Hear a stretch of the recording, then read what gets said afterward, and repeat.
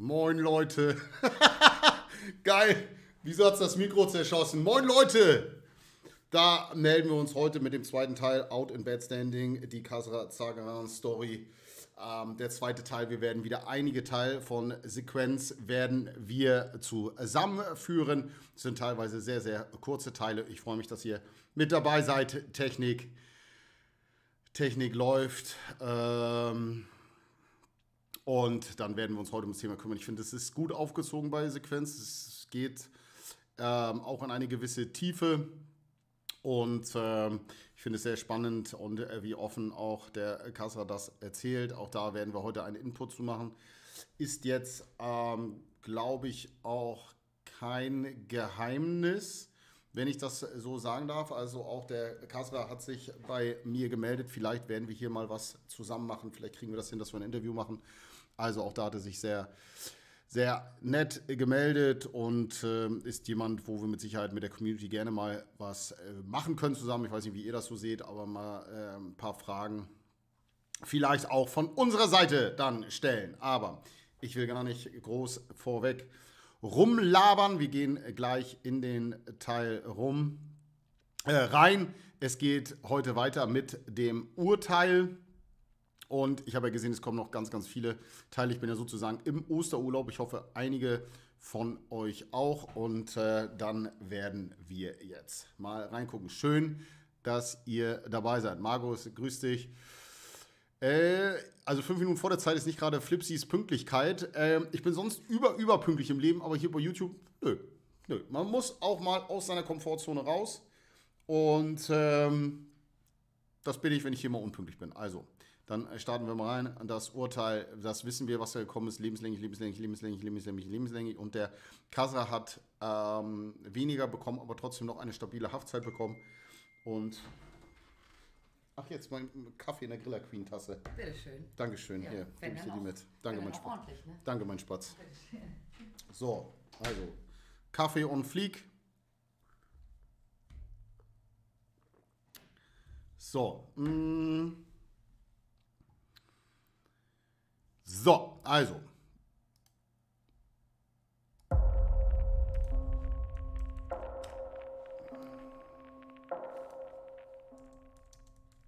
Aber für mich war immer klar, unter zehn Jahre werde ich hier nicht rausgehen.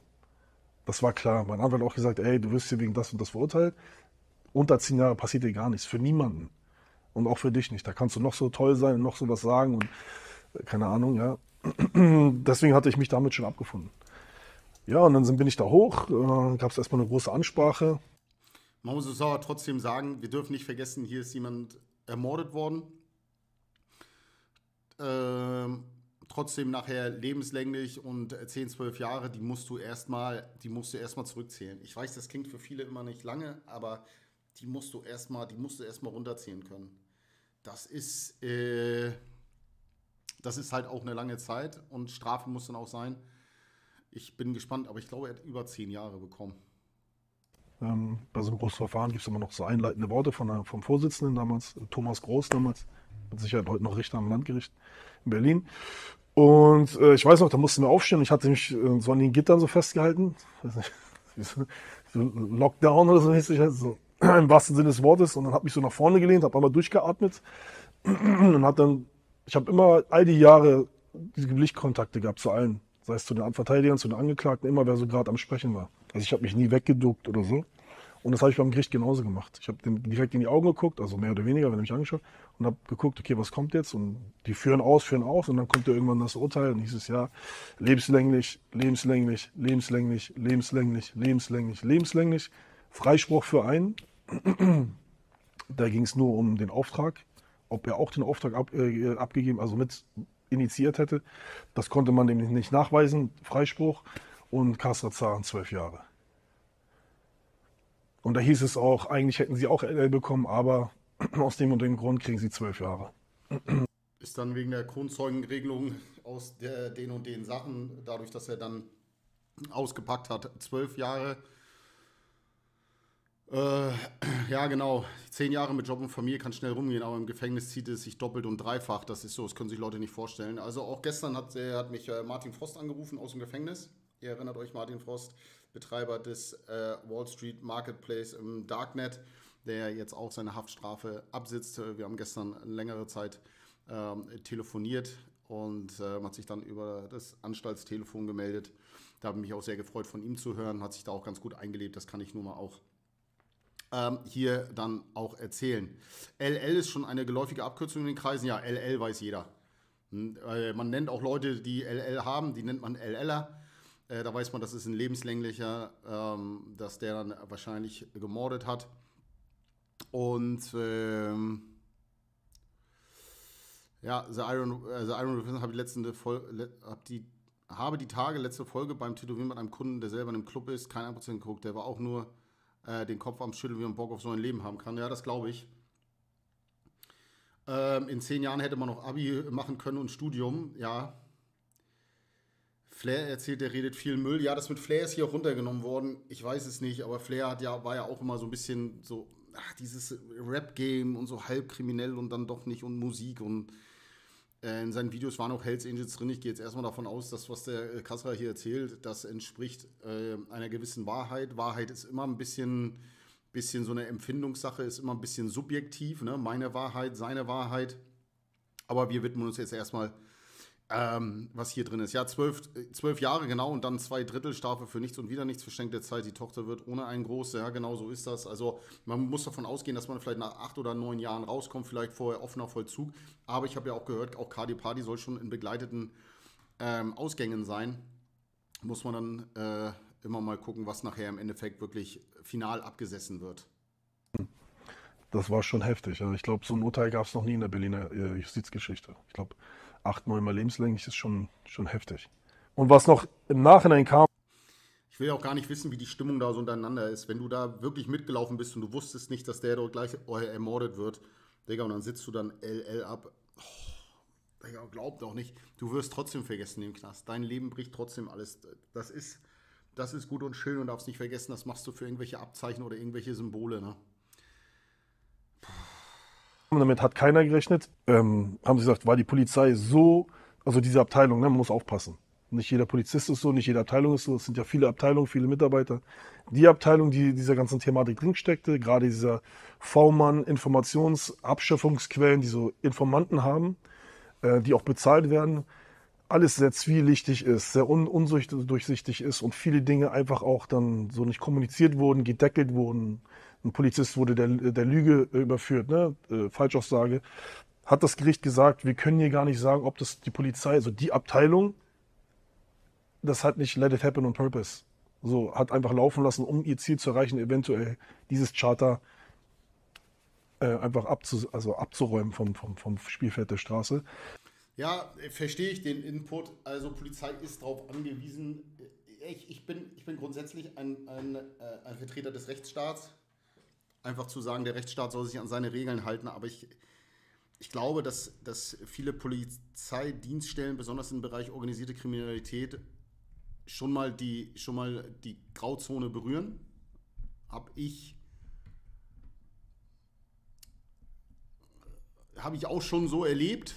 Ich muss nur genau nachdenken habe ich auch schon so erlebt. Natürlich, wenn es um einige Durchsuchungen und so ging, wo ich sage, so, das hätte kein anderer bekommen, aber ich war grundsätzlich immer schuldig, das muss ich sagen. Ich war schon grundsätzlich schuldig. Ähm und ähm natürlich ist da immer ein Gefahrenpotenzial drin, wenn du bezahlte V-Leute hast, Informanten und so weiter, dass die teilweise ihre eigene Agenda fahren, dass sie versuchen, äh, Zwiespalt äh, Zwietracht in den Clubs zu sehen, ihre eigene Agenda haben, dort versuchen Leute zu diffamieren, sie verhaftet zu bekommen, weil sie persönlich mit ihm ähm, Streit haben und sonst irgendwas. Aber na klar, die Polizei ist zielgerichtet. Trotzdem glaube ich, dass dann schon, genauso wie er das hier sagt, ab und zu dann in eine absolute Grauzone reinkommt aber so wie der Vorsitzende Richter das dann auch gesagt hat, nicht mit Absicht, sondern weil die Dinge dann einfach laufen. Die hatten auch einen enormen Ermittlungsdruck, das muss man auch sagen. es war eine wilde Zeit in Berlin. Wie gesagt, da gab es, die, die, die, haben, die, haben, die haben Krieg geführt auf deutschen Straßen. Ne? Das, war, das waren teilweise bürgerkriegsähnliche Zustände, auch besonders der Kampf Helsinki gegen Bandidos und so. Und da war der Staat auch unter, unter Zugzwang, muss man dann, ja, ja, kenne auch unrechtmäßige Hausdurchsuchungen, aber willst du danach sagen, wenn sie was gefunden haben? Ist so, heller Code. Ist so, genau so. Sie kann nicht ausschließen, dass Teile der Polizei das haben einfach laufen lassen.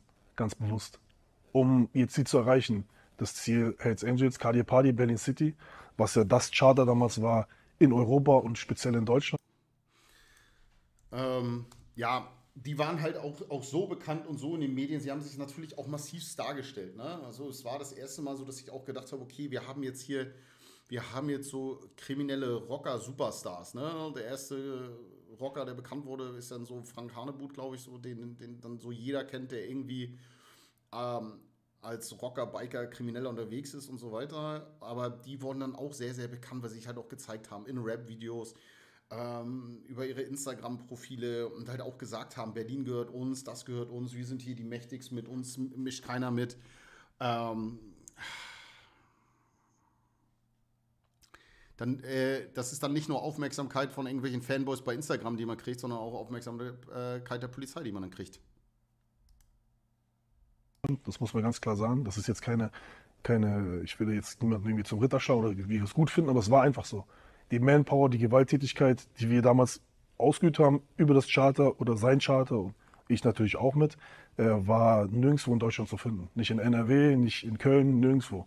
Und auch in Europa erst, glaube ich, wieder mit äh, den Nomads in Dänemark, die auch extrem gewalttätig sind. Die haben es nochmal so übertoppt mit, weiß nicht, 30 Morden, irgendwie so. Und ja, krass, um was es dann für eine Stellung geht. Man hört hier ja so raus, so, ne, dass es dann nochmal um die Stellung im, äh, im Club geht. Ne? Wie wird unser Charter angesehen? Und das, da wurde ganz häufig untereinander gelästert. Und das war nicht nur bei, bei den Hells Angels so, das war bei den Bandidos so, das war bei Gremium so, das ist, war ähm, dass sie dann gesagt haben, ja, das und das Charter ist ein Kampfcharter, das ist ein richtig gefährliches Charter, da sind gute Leute dabei und dann haben sie über andere Städte haben sie gesagt, ja, nee, das sind Lappen und so weiter, ja, das sind halt unsere Brüder, aber die kriegen nichts auf die Kette, die kriegen in ihrer Stadt nichts auf die Kette, die werden ausgelacht und sonst irgendwas. Ähm, da geht es viel um Stellung. Ne? Es geht, ähm, man, man, man wusste ganz genau, welche Charter wie welchen Ruf haben. Das kam aber drauf, immer darauf an, wie sie geführt worden sind. Ne? Ich sag's ja, nicht jeder der Präsidenten war immer auch ein Kriegspräsident. Ja, also viele, viele, die dort äh, drin sind und dort aktiv waren, das waren noch, das waren noch einfach harte Geschäftsleute. Die, haben, die waren halt in dem Club auch nicht unbedingt, weil sie Motorradfahren geil fanden, haben wir jetzt hier auch noch nicht viel gehört. Ähm, die nicht unbedingt Motorradfahren geil fanden, aber sie fanden das Image gut, sie brauchten den Club im Rücken, aber es waren Netzwerker. Das waren Netz, Netzwerker und, und, äh, und Businessleute. Das waren Businessleute. Ja, Bileb schreibt gerade, die Polizei hat vor Gericht den Vorwurf bekommen, dass sie von der Gefahrenlage des Opfers gewusst haben, bewusst nicht eingegriffen haben, um sie ranzukriegen. Ja, der Vorwurf war da, dass sie den angeblich geopfert haben, ähm, damit sie das äh, Charter um Cardi Party äh, zumachen können. Äh, ja, also. Ähm, aber hätte, hätten Leute wie Hanebu, Jang und die Einflussreichen nicht auf die einwirken können, dass sie es nicht übertreiben, ein Vereinsverbot war doch absehbar. Irgendjemand hat mir dann mal erzählt, die waren unführbar. Ähm, waren, waren, waren nicht führbar. Äh, egal ob auf den äh, äh Deutschland-Meetings oder sonst was, äh, das, da, da, da gab es kein Sprechen. Die Charter können immer wieder auch sagen, ja, das ist Charter-Business. Das geht ein anderes Charter nicht an. Was wir in Berlin machen, geht euch in Hannover in, in, äh, in, in München, Stuttgart geht euch nichts an. Ähm, da haben sie gesagt, um dem auch rechtsstaatlich gerecht zu werden, ziehen wir jedem mit, also Angeklagten zwei Jahre schon mal ab. Das heißt, wenn du 15 Jahre bekommen hast, hast du offiziell 13 schon gesessen, also kriegst du 13, weil zwei du schon gesessen hast. Das haben sie gesagt. Das war relativ hoch, das gab es so noch nicht. Wurde später dann auch vom BGH kassiert. Aber ähm, das, damit hatte ich jetzt nicht gerechnet. Ja. Und da war für mich klar, okay, dann fängst du an, so Eierrechnung zu machen. Weißt okay, alles klar, zwölf Jahre, bub, bub, bub, so, so viel hast du schon gesessen, dann rechnen du zwei ab, ey, ich bin schon auf zwei Drittel. Vorzeitige steht unmittelbar bevor, rechnerisch. Also es gibt ja so Halb, es gibt äh, Halbstrafe, vorzeitige und zwei Drittel. Und für mich war dann ja schon so, ey, im Rahmen des Möglichen kannst du schon entlassen werden.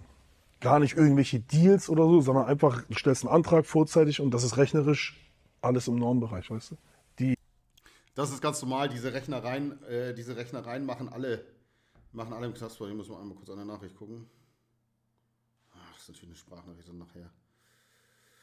Und ähm, diese Rechnereien machen alle, das, das, die, die, die teilweise dann, ne, dann wird U-Haft angerechnet oder Härte angerechnet, dann zwei Drittel waren offener Vollzug und immer Anträge stellen. Äh, du kannst ja immer wieder auch deine Entlassung prüfen lassen. Aber das Gerechne ist, äh, ist Standard.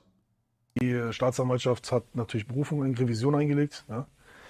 Und die Gegenseite ja auch. Also die Anwälte von denen, die lebenslänglich bekommen haben. Außer der Freispruch natürlich. Und wir erstmal prophylaktisch auch.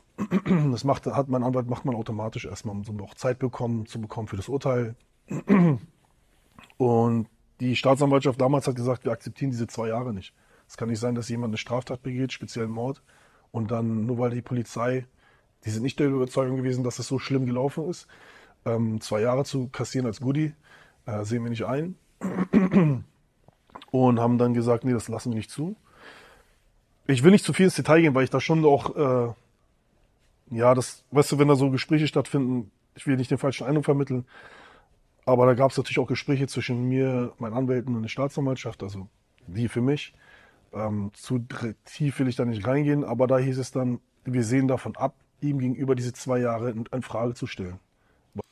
Klar, das ist halt der Bonus, den, den man dann äh, bekommt, weil man dort äh, Kronzeuge dann war, dort ausgesagt hat.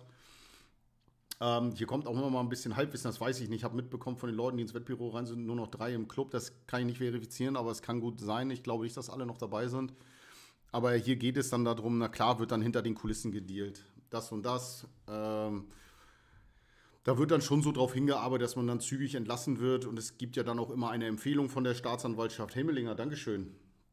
Ähm, gibt es dann ja auch immer eine Empfehlung von der Staatsanwaltschaft, ja, wir äh, die Staatsanwalt könnte dann sich dazu äußern und sagen, nein, wir sind gegen eine Vorzeigeentlassung, wir sind gegen zwei Drittel. Ähm, wenn du dann eine Empfehlung von der Staatsanwaltschaft bekommst zum Landgericht, das dann geht und sagt, ja, wir befürworten das, Herr, Herr äh, Zageran äh, wird empfohlen, auch in den offenen Vollzug zu stecken oder ähm, zwei Drittel zu gewähren, dann bist du so gut wie durch, wenn die Staatsanwaltschaft dem schon zustimmt. Weil wir der Meinung sind, der Mann hat genug gebüßt, der sitzt seit sieben Jahren in Isolationshaft hat sich vernünftig verhalten, ist, äh, hat diese Thematik mit aufgearbeitet. Wir wollen ihm da jetzt keine Steine in den Weg legen, ja. Und dann war ich der Einzige, der das dann von denen, also der es dann zugestanden hat bekommen, bekommen hat. Und äh, dann war die Rechnung relativ schnell, okay, rechtskräftig ist es dann schnell geworden, nach einem halben Jahr hin und her. Und sieben Jahre Einzelhaft macht natürlich auch was mit dir, ne? Da braucht man nicht drüber sprechen, kann sich jeder mal vorstellen, sieben Jahre Einzelhaft ist natürlich auch ein Brett, das ist auch Strafe. Ist Strafe, sind schon, äh, schon ähm, erschwerte Haftbedingungen. Und ähm, ja, und dann habe ich äh, den Antrag auf vorzeitige Entlassung gestellt.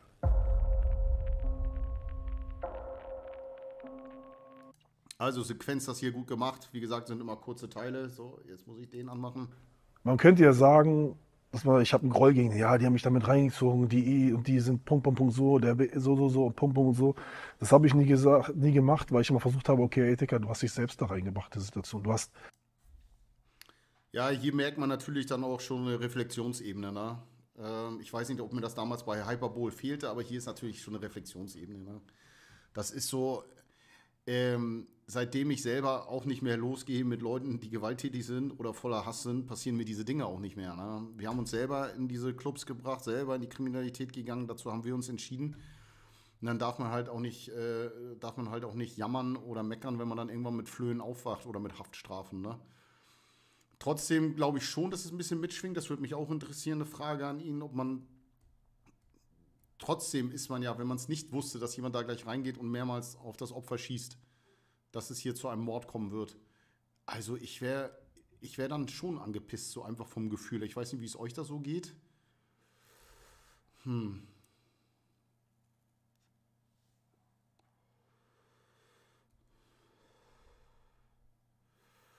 Ähm.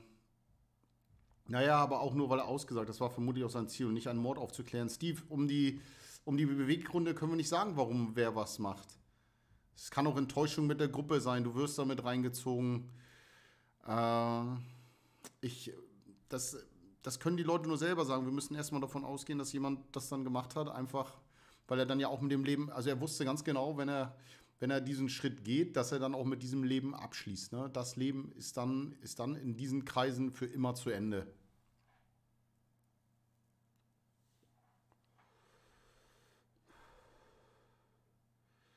Ähm ja, ich finde auch, äh, Bileb schreibt auch gerade, ich finde ihn auch jetzt auch reflektierter. Das ist so, diese Reise musste ich ja selber machen. Die Reflexion kommt über die Jahre, wenn man sich selber beschäftigt, mehr Distanz hat zu Gefängnis, mehr Distanz zu den Gruppen, mehr Distanz zur Polizei, mehr Distanz zur Staatsanwaltschaft. Dann hat man auch mal Zeit, über die Dinge ähm, nachzudenken. Und da kommt natürlich eine ganz andere Reflexion draus als kurz nach dem Knast die Tat nicht gewollt, aber am Ende des Tages hast du dich in dieses Milieu bewegt. Am Ende des Tages ähm, ist es dir passiert und nicht XY, weil XY nicht in solchen Kreisen sich bewegt, sondern ich. Guck mal, so einfach. So einfach. Das müsste man den Leuten aufzeigen, vorspielen. Umgibst du dich mit diesen Leuten, gehst du in diese Clubs rein, gehst du in die Kriminalität, dann werden dir diese Dinge passieren. Du wirst mit Gewalt konfrontiert werden, mit Betrug, Lug, Neid, Eifersucht, Gier, all diese Dinge kommen da um die Ecke. Du umgibst dich halt mit Kriminellen und kommst du in diese Dinge auch rein. Ne? Und Kasra ist ja auch kein Kind von Traurigkeit, was wir nachher äh, noch hören werden. Und äh, das ist halt das Leben, das man führt. Und dann kommt man in diese Dinge rein. Und das war im Nachhinein auch absehbar und auch was alles passiert ist, weißt du so. Im Nachhinein ist man immer schlauer. Und es gibt auch heute die Leute, die noch sagen, ja, warum hat er nicht durchgezogen, selber schuld, wenn man so klug wird. Ja, weißt du, äh, das ist immer einfach gesprochen. Aber ich finde, der Erkenntnis ist, glaube ich, nie zu spät und ein Wandel, weißt du? Und äh, das ist immer wichtig, dass man es irgendwann erkennt. Und ähm,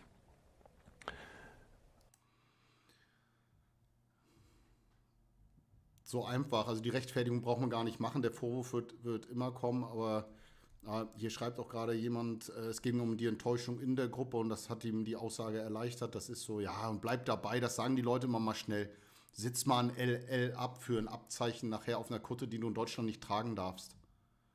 Ja. So war es bei anderen Jungs auch, das weiß ich ja. Weißt du? Und ich habe ja auch ein paar Jungs da kennengelernt, die auch wirklich in Ordnung waren, aber die einfach auch so, so hoffnungslose Fälle waren einfach.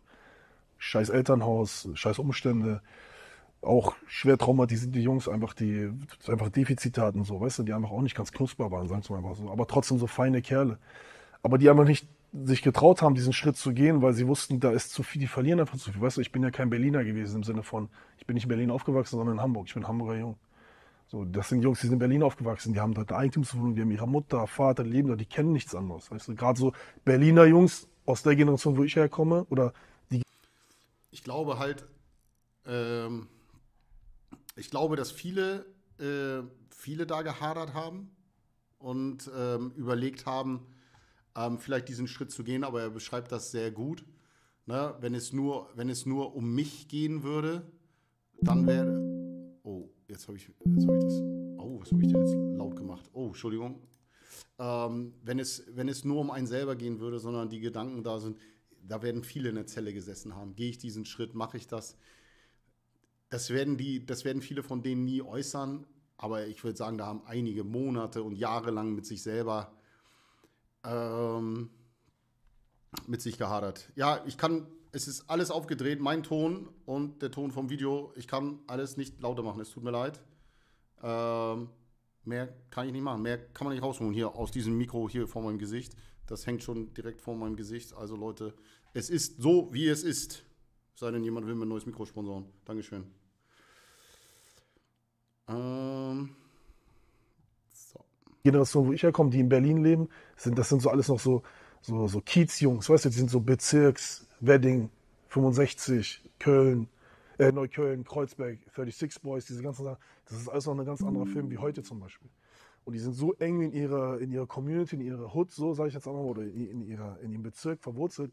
Die sind teilweise noch nicht mal, ich kannte welche in Berlin, die sind Mensch, schreibt Flipsy, manche sagen, du bist und warst doch schon immer ein Systemling. Ja, ich bin jetzt wieder ein guter Systemling. Ah, ja, ich war 20 Jahre lang ein Systemling, als ich in diesen Milieus unterwegs war, im Rechtsextremismus und in der Kriminalität war ich ein Systemling. Eieiei. Wer sagt das? Irgendwelche 18-Jährigen im Internet. Mann, Mann, Mann, Mann, Mann, Mann, Mann. Ah, Okay. leben 30 Jahre in Berlin, war nicht einmal im KDW. Weißt du? KDW, dieses Kaufhaus des Westens, dieses Bonzen, Bonzen-Ding. Ne?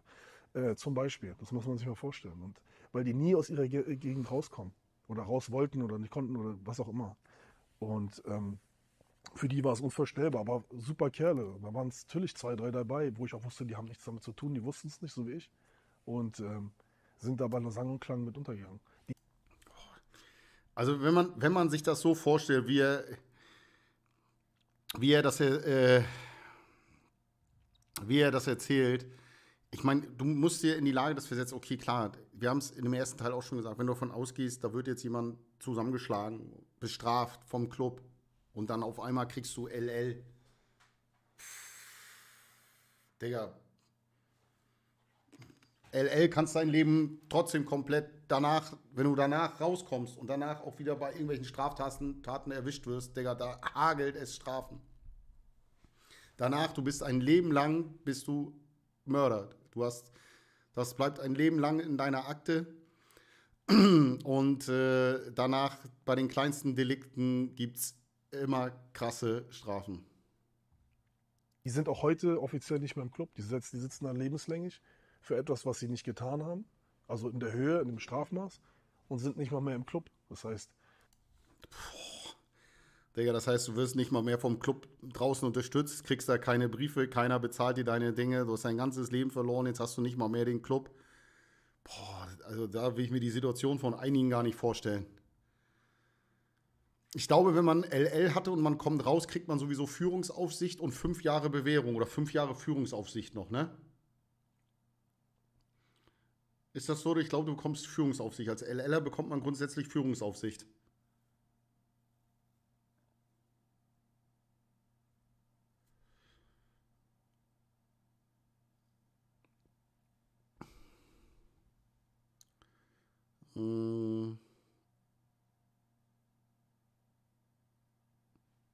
Ja, mit Motorradfahren hören wir nicht viel. Das ist jetzt keine Überraschung. Aber ich glaube, grundsätzlich als Lebenslänglicher bekommt man danach fünf Jahre Führungsaufsicht oder eine Zeit lang Führungsaufsicht und fünf Jahre Bewährung. Aber das ist jetzt gerade gefährliches Halbwissen.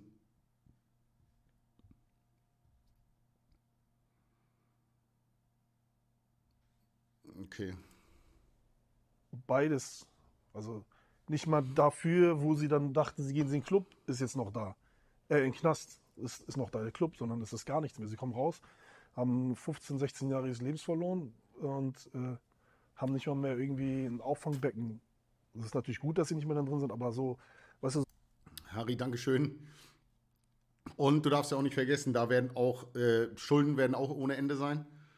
Ähm, nur alleine das Gerichtsverfahren, solange wie sie das gezogen hat mit den Anwälten, äh, da kommst du auch noch raus mit mega Schulden. so, ein- so ein Becken ist völlig, völlig krank so. Ja? Und die tun mir natürlich leid. Und ich hoffe für die, dass die Jungs da gut durchkommen und auch die ihren Weg finden und dann irgendwann auch ein normales Leben führen können. Äh, Das hoffe ich für jeden. Selbst für Kali hoffe ich, dass er irgendwann mal sauber im Kopf wird und äh, sich mit sich selber beschäftigt und seine Sachen einsieht und irgendwann einen geraden Weg geht. Das werde ich nicht, äh, glaube ich, nicht erleben in diesem Leben. Das wird er mit Sicherheit nicht, aber ähm, das ist so mein Mindset. Ja. Also ich wünsche niemandem was Schlechtes. Äh, das habe ich damals nicht getan und äh, ja, man muss sich, weißt du, Selbstreflexion ist so der, der, der Oberbegriff, glaube ich. Man muss sich Ja, braucht man gar nicht jetzt viel kommentieren bei ihm. Ich finde das richtig gut. Also da ist auf jeden Fall noch immer eine krasse Veränderung zu den ersten Interviews. Das, ähm, ja, ich weiß, die, na, die wollten den schon nicht nur streicheln, das weiß ich ja auch. Klar ist da jemand mit Maske rein und die Waffe mit, aber trotzdem musst du davon ausgehen, so dilettantisch, wie es gemacht ist, dass alle anderen hinterherlaufen, die das wirklich wussten, dass der eine das gesagt hat. Du weißt es nicht, was besprochen wurde. Vielleicht haben sie gesagt, wir schießen den ins Bein oder sonst was vor. Dann hat er die Waffe gezogen und gesagt, ach jetzt scheiß drauf, jetzt knall ich den ab, ich habe eine Maske auf, mich erwischen die nicht. Keine Ahnung. Das ist mir klar, dass sie da nicht nur hin wollten und eine Ohrfeige verteilen wollten. Das ist mir schon klar. Das wird auch dem Kasra äh, klar gewesen sein. immer selbst reflektieren und zu sagen, okay, das ist mein Fehler, bevor ich immer die Fehler der anderen zitiere. Das ist ja heutzutage auch so ein Gesellschaftsding so. Alle sind immer schuld, bloß ich nicht. Und ich finde, es ist nicht einfach, ich habe auch damit zu kämpfen gehabt, aber ich glaube, sich selbst zu hinterfragen ist ein wesentlicher Bestandteil, auch zu reflektieren, auch zu verändern im Positiven. Weil wir haben alle so unsere, unsere Baustellen, jeder Mensch weiß. Und deswegen, ja, auch an die Jungs da. Ja, Gut, gut, holt mich ab, holt mich ab. Äh, muss ich ganz ehrlich sagen, das ist die Reflexionsebene, die muss da sein. Und ich kann ja auch nur hoffen, auch dass, ähm, dass vielleicht manche andere da dann rauskommen und dann sich für ein anderes Leben entscheiden. Ja, ist eine starke Aussage, ist so, Bilip. Ist so. die haben Man merkt halt auch so, der Groll ist ein bisschen weg. Ich habe das von dem alten Video noch so in Erinnerung, dass da auch so viel Groll noch war, ne? Ich glaube, das, das spürt man jetzt hier weniger. Ja, muss jetzt ein bisschen schauen. Die Infos, die ich habe, das sind natürlich so interne Infos. Ich will natürlich niemanden, weißt du, ich bin da schon loyal zu den Leuten, mit denen ich arbeite und muss auch professionell sein. Was ich sagen kann, ist auch auf jeden Fall, dass die Geschichte sind, auf jeden Fall, in dieser Art und Weise, wie es damals war. Ja, also äh, wer, wer die Illusion hat, dass irgendwie die Jungs rauskommen, dann nach 15 oder 20 Jahren dann rauskommen und dann irgendwie noch ähm, wieder ihr Charter so aufbauen und äh, ähm, dann wieder die Position dort in Berlin einnehmen werden, das wird nicht passieren. Also die werden, die werden so schnell äh, zer, zerschlagen werden und unter Überwachung kommen und wieder in den Knast kommen. So schnell können die, so schnell können, äh, können die nicht 81 sagen. Also das, das ist ganz klar. Das ist, das ist zerstört. Sowieso. Ähm, das, das, das wird, glaube ich, auch, auch erstmal nicht mehr so kommen, dass, ähm, dass ein gewisses Gewaltmonopol irgendwie einer Rockergruppierung oder einer Gang übergeben wird. Ja, äh, Elizio, auch das, auch das äh, kann ich sagen. Ich habe ja mit äh, Kassa gestern äh, Kontakt gehabt, der hat sich bei mir gemeldet und ich habe ihm das auch gleich gesagt. Bei Kassa merkt man einfach, dass er auch eine, dass er, dass er eine Intelligenz besitzt. Ne? Das ist natürlich im, im Prozess einer Veränderung sehr hilfreich, wenn man natürlich eine gewisse äh, Grundintelligenz mitbringt, äh, reflektieren kann, über sich selber nachdenken kann, über andere mein Tun, deren Tun ähm, Schicksal, ja, äh, falscher Zeit, falscher Ort, falsche Leute, falscher Charakterzug, all diese Dinge, da hilft es natürlich, ähm, dass man da zumindest ein paar Gehirnzellen mitbringt. Ne? Das, ist, das ist hier natürlich, ähm, das merkt man hier. Ja, die können ja die Kunden vom LKA zurückholen, ja. Also das, das werden die in Berlin nicht mehr zulassen. Das wird so in nächster oder Zeit oder nicht mehr so geben. Ja. In dieser Gewalttätigkeit, in dieser strukturierten, in diesem strukturierten, gewalttätigen Ausmaß, in dieser Art und Weise, auch mit, dieser, mit diesem Leadership von Kadir Padir. Ähm, diverse zentrale Personen sind auch gar nicht mehr im Club, die den Club auch wirklich zu dem geformt haben. Das war ja nicht nur er, sondern auch ein paar andere. Äh, die gibt es nicht mehr, sind äh, raus. Ähm, und äh, aus diversen Gründen. Und deswegen sind die so eigentlich nicht mehr so relevant wie vor 10, 12, 13 Jahren. Also Trotzdem muss man sich immer wieder vorstellen, gehst du aus dem Club raus, wofür du ein LL bekommen hast und hast selber nicht mal abgedrückt. Ich weiß, das ist immer wieder. Aber da dann, da dann auch raus zu sein, das ganze Leben darauf aufgebaut und äh, ich sag mal so, die waren ja auch alle erst so um die Mitte 20 ne, bis Mitte 30 oder so waren die alt. Uiuiui. da setzt sich keiner mehr großartig viel mit denen an den Tisch, sondern die sind dann so, ja, die aus dem Wedding da. Zu meiner Zeit war das ja so, wir haben uns mit, dem, mit Arafat an den Tisch gesetzt, sie mussten sich mit uns an den Tisch setzen. Wir haben uns mit den Ramos an den Tisch gesetzt, wir haben uns mit den Al-Sains, mit den Shahrus, mit, den, äh, mit allen möglichen Großfamilien, die irgendwie, äh, die Miris, die irgendwie in Berlin äh, in der Unterwelt und im, im, im Nachtleben zu tun haben, ihr Geld machen, mussten sich ja mit uns auseinandersetzen, weil wir einfach eine, eine Partei waren, die konntest du nicht umschiffen. Ja. Und viele wollten ja dann auch mit uns gut sein, weil sie keinen Krieg wollten. Ja, Ja, ist halt ein krimineller Kuchen, der auch, auch, der auch aufgeteilt wird, ne? Ja, Holger Bossen wird jetzt der neue Anführer. Ja, Holger Bossen ja auch rausgeschmissen. Im Schlechten soll ja in die Clubkasse gegriffen haben. Ja, jetzt werden hier immer wieder Namen. Ich will nicht alle Namen vorlesen. Auch die Leute ähm, haben ein Recht auf Persönlichkeit, egal ob sie dann selber in die Öffentlichkeit mal gegangen sind. Aber hier werden natürlich gerade auch Namen von äh, Hells Angels Größen reingeschrieben. Ich habe das im ersten Teil auch gesagt. Ähm, viele alte Charter und auch viele, viele andere Jungs fanden das nicht gut, was die da in Berlin gemacht haben. Die haben versucht, darauf einzuwirken und haben gesagt, Berlin einfach nicht führbar. Ähm, egal, ob dann auf den Deutschland-Meetings irgendwas beschlossen wurde oder sonst irgendwas, haben die gesagt, äh, ist nicht, war nicht zu steuern. War nicht zu steuern. Einige werden, werden trotzdem auch froh gewesen sein, ähm, als die verboten worden sind und als die inhaftiert worden sind. Einfach für die Ruhe in der eigenen Stadt, Ruhe für den eigenen Club. Das wird kaum einer öffentlich sagen. Es werden aber einige gedacht haben. Und es gab ja auch viele persönliche Differenzen. Ähm, vorher, wo Kadir Padi noch mit seinen Jungs bei den Bandidos war, haben sie schwer Krieg geführt gegen die Berliner Hells Angels, wo die Hells Angels in Berlin eher schlecht aussahen gegen. Ja, und dann nenn mal jemanden, nenn mal jemanden sechs Wochen, sechs Wochen später Bruder, der irgendwie vorher dich im Auto angehalten hat mit seinem Club und dir versucht hat, ein Bein abzuschlagen mit der Machete. Den sag mal, den nenn danach mal Bruder. Äh, ich weiß nicht. Ich weiß nicht. Und, ähm, das wird's heute so, gibt es heute so nicht mehr. Ja. Also extrem schwache, schwache Struktur. Was gut ist. Ja, beim Nachhinein wird halt keiner mehr getötet.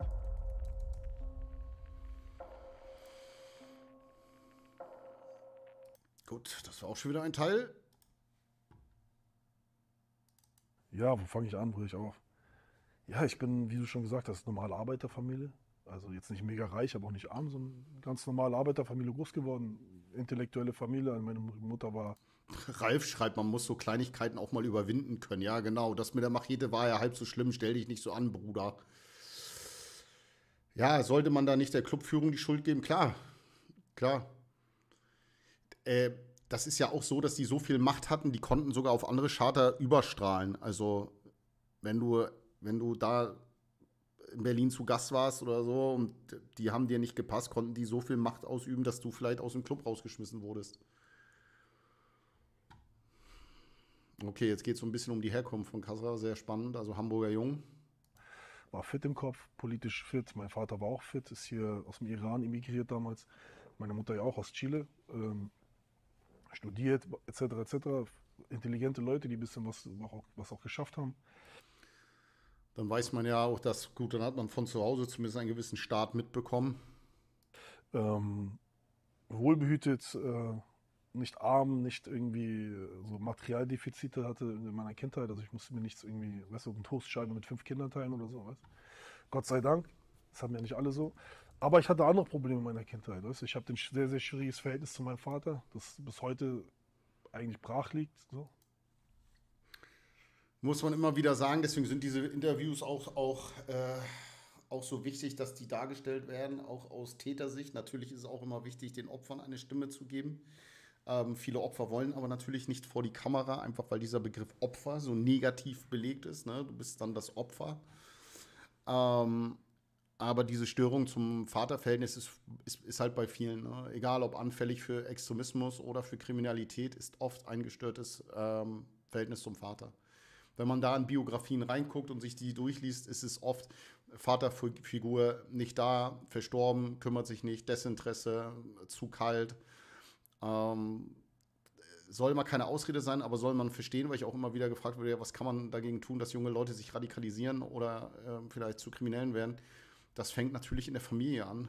Also das ist nicht Aufgabe Schule und Gesellschaft. Erstmal fängt es in der Familie an. Ich bleibe immer dabei, äh, ich bleibe immer dabei, Kinder Kinder, die geliebt werden, Perspektive haben, gesehen und ernst genommen werden und auch mal scheitern dürfen, die ähm, gewisse, gewisse Bildung, Empathie mitkriegen, die sind nicht so anfällig für diese Dinge. Das ist, ist natürlich kein, das ist, das ist keine, äh, das, das schließt es nicht komplett aus, aber ich halte es dann, dann für schwieriger. Aber gestörtes, gestörtes Vaterverhältnis immer, immer immer, fast immer bei vielen Biografien ist, ist oft ein Thema. Weil wir, mein Vater nicht imstande ist, irgendwie die Vaterrolle einzunehmen, die er eigentlich einnehmen müsste. Und da fängt das alles an, weißt du, so Traumatisierung in der Kindheit spielt immer eine große Rolle. Da spielen, weil du gerade schon gesagt hast, ja, du kommst aus, eigentlich aus einer guten Familie. Das ist immer so der Trugschluss bei Leuten, das ist jetzt gar nicht böse gemeint, die denken, man muss irgendwie reich, arm sein, um kriminell zu werden. Weißt du, ich meine, das denken ja aber viele, ist immer so, ja, wieso, der kommt doch nicht aus der, aus der, aus der Hood oder irgendwelchen Frankreich-Bonnieus oder irgendwelche schwer kriminellen sozialen Brennpunkte. Du musst nicht arm sein, irgendwie kriminell zu werden oder irgendwie ein Soziopath oder äh, ein Typ, der einfach Scheiße baut. Könnte ich nicht, könnte ich nicht besser zusammenfassen. Könnte ich nicht besser zusammenfassen. Sondern einfach, dass manchmal reicht äh, die schlechte Erziehung oder keine Erziehung oder Traumatisierung in der Kindheit, weißt du? Und bei mir war es einfach so, ich hatte ein sehr schwieriges Verhältnis bis heute zu meinem Vater, teilweise gar keins. Auch sehr toxisch teilweise. Meine Mutter hat viel versucht, das aufzufangen. War natürlich auch völlig überfordert, weißt du. Auch eine ähm, traumatisierte Seele, meine Mutter, Kind, äh, Heimkind. Und natürlich auch so ihre Päckchen zu tragen, weißt du. Und das strahlt natürlich auch, kriegen die Kinder alles mit, weißt du. Und ich war durch das Nichtverhältnis mit meinem Vater, habe ich natürlich immer noch irgendetwas gesucht. Vaterfigur, Männlichkeit, irgendwas, was den Jungen halt auch so ein bisschen noch zum Mann erzieht. Weißt du, das kennt. Ja. Ich kann dazu gar keinen Input geben, weil das sind Dinge, die ich genauso sage. Äh,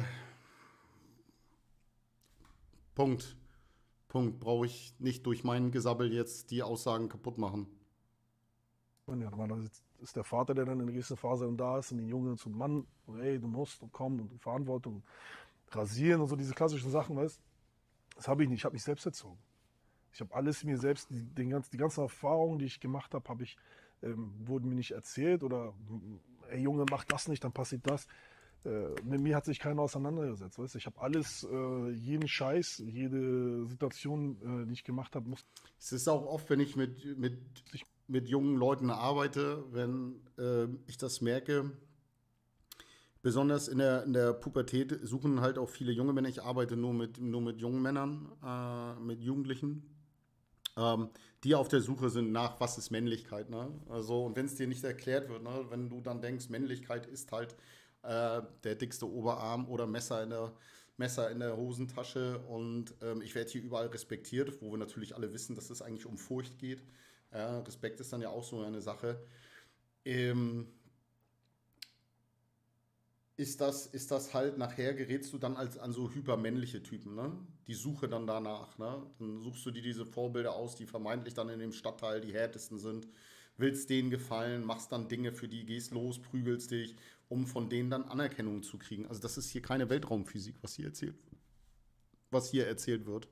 Ähm, Kurze, kurzer Werbeblock, Leute, lasst gerne einen Daumen hoch da. Wenn ihr mich generell scheiße findet, lasst gerne einen Daumen runter da. Kommentiert gerne, darf auch gerne kritisch sein.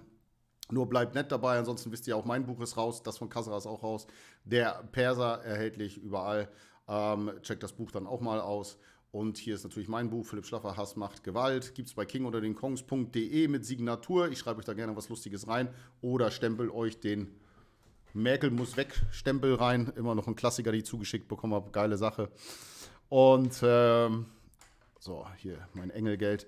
Und dann natürlich Dankeschön an alle, die grillen. Ja, supportet das gerne. Dann supportet ihr hier mit Philipp 10, kriegt ihr da 10% Rabatt. Dankeschön an alle, die das machen. Bei den Beef Bandits alles rund um Fleisch, Grillen, checkt das mal aus. Und natürlich bei ZEC Plus alles rund um Eiweiß mit Philipp 10. Dankeschön. Das war ein kleiner Werbeblock. Ansonsten Dankeschön an alle Kanalmitglieder, an alle Twitch Prime-Abos. Ehre geht raus und ähm, dass ihr das hier supportet und mit auf dieser Reise dabei seid. Also lasst einen Daumen hoch da. So. Okay, jetzt übertreibt es hier jemand. Jetzt äh, muss man hier jemanden rausschmeißen. Das tut mir leid, wer sich nicht hier an Regeln hält und hier mit Hurensohn und so irgendwas sagt an die Community, der ist raus. So. Irgendwie selbst, ich muss mich selbst einfach erziehen, weißt du? Und das war einfach bei mir das Problem. Und deswegen bin ich auch so, so völlig äh, extrovertiert, weiß ich mal, in diesen ganzen Sachen äh, äh, habe ich mich da entwickelt. Und so war es auch in der Schule. Ich bin extrem, ich bin jetzt kein dummer Junge, das weiß ich. Ich habe was auf dem Kasten, bin ich schulerisch jetzt nicht so mega, mega äh, ausgebildet, aber ich weiß, dass ich, wenn ich Bock habe, kann ich mich auch zum, zum Juristen irgendwie ausbilden lassen. Habe da nur keine Lust drauf. So. Aber okay, also grundsätzlich glaube ich schon, dass die meisten Gehirne alles können. Man muss nur auch ein bisschen wollen. Ähm, das merkt man aber halt hier. Ne? Und auch das sage ich auch den Jungs, mit denen ich arbeite, ist vielleicht nochmal ein Input von der Seite. Auch denen sage ich immer so: Nicht jeder passt in das, ähm, nicht jeder passt in das System Schule rein. Ja. Das muss man, das muss man einfach mal sagen. Äh, das System Schule ist 150 Jahre alt, bedarf einer Reform. Ich glaube, da sind wir uns alle einig, dass das System Schule mal reformiert werden muss. Ähm, man, kann trotzdem, man kann trotzdem clever sein und intelligent sein und trotzdem in der Schule scheitern. Das geht trotzdem. Man kann danach aber auch trotzdem seinen Weg finden. Ich kenne einige, die danach einen tollen Lebensweg in meinem Freundeskreis gemacht haben, die auch in der Schule jetzt nicht unbedingt geglänzt haben, beziehungsweise eher niedrige Schulabschlüsse haben und jetzt in ihrem Leben ähm, sehr, sehr erfolgreich sind. Das darf man sich nicht, das darf man sich nicht nehmen lassen. Man findet dann auch seinen Weg danach jetzt, und das ist natürlich klar, ohne Kriminalität findet man, kann man trotzdem seinen Weg finden. Also mir wird ja, mir, zum Beispiel, äh, wenn dann Leute schreiben, ja, Herr Philipp, wie, Philipp, wie dumm. Also erstmal habe ich auch äh, Fachhochschulreife gemacht, dann habe ich meine Auszeichnung als großen Autohandelskaufmann nach zwei Jahren um ein Jahr verkürzt, mit Auszeichnung ausgelernt. Ich habe eine gewisse Bauernschleue und das, das weiß ich über mich auch. Bin jetzt nicht äh, hyperintelligent, das weiß ich auch über mich, aber deswegen verstehe ich das, was Kasserer hier sagt. Einige finden so ihren Weg einfach und das ist auch wichtig, anderen mitzugeben. Nur weil du in der Schule mal gescheitert bist oder dein Schulabschluss nicht der beste ist, heißt es noch lange nicht, du hast in diesem Leben verloren. ist einfach mal wichtig, das zu sagen. Das ist auch wichtig, Kindern das zu sagen. Kinder sind auch nicht weniger wert, nur weil mal eine Note in der Schule scheiße ist oder mal irgendwas nicht geklappt hat. Deswegen sind sie als Menschen nicht weniger wert. Ja,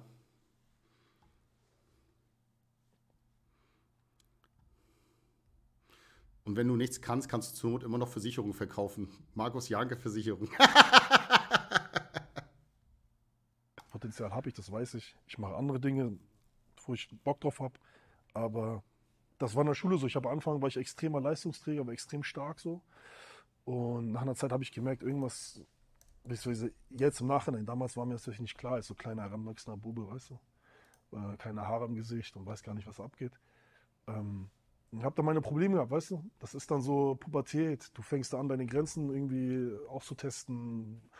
Also ich bin jetzt auch kein klassischer Bio-Deutscher, habe dann das erste Mal richtig mit Rassismus meine Erlebnisse gehabt und äh, anderer Name sieht anders aus.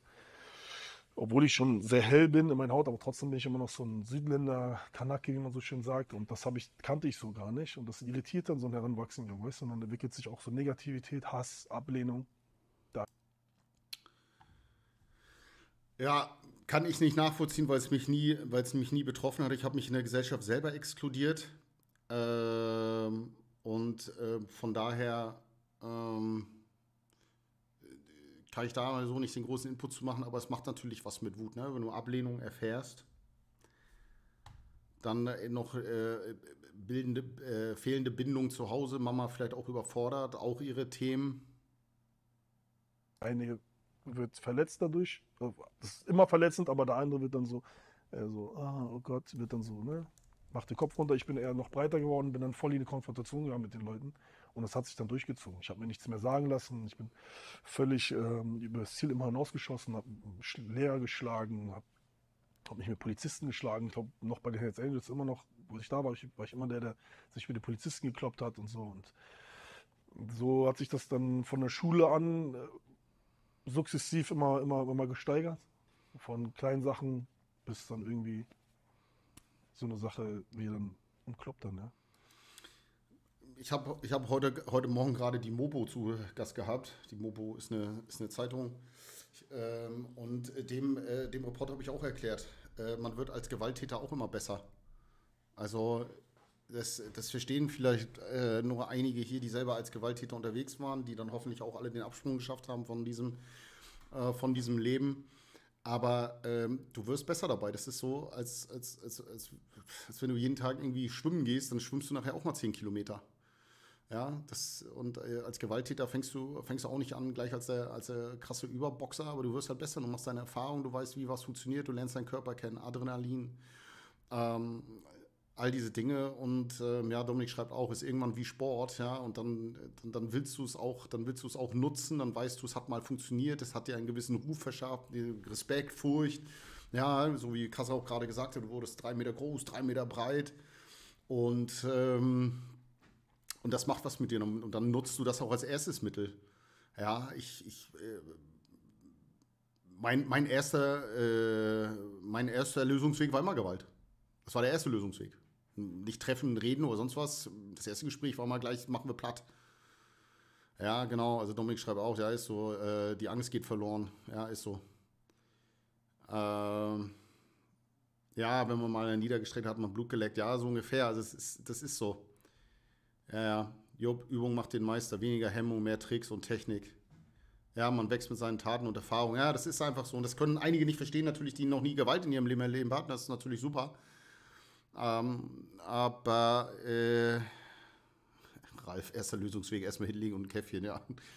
Äh, ja, meine Erfahrung, je bekloppter und fitter, desto schlimmer der ruft. Äh, damals fand ich das geil, ja, Dr. Ivan Hawk, ja, glaube ich.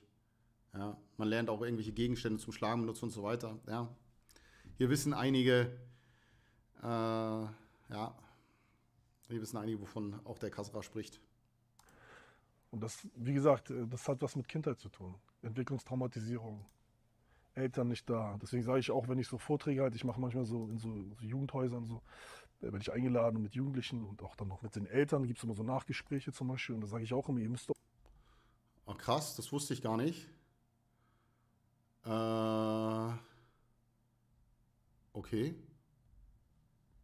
Das. Äh,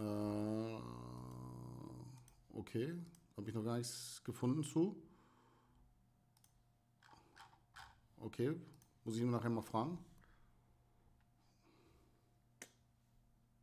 auf eure Kinder aufpassen. Weißt du, wen, es bringt nichts, wenn du dein Kind irgendwas kaufst und das ist irgendeine materielle schöne Sache und dann schüttet es kurz ein Endorphine aus. Aber am Ende du musst dich beschäftigen mit deinem Kind.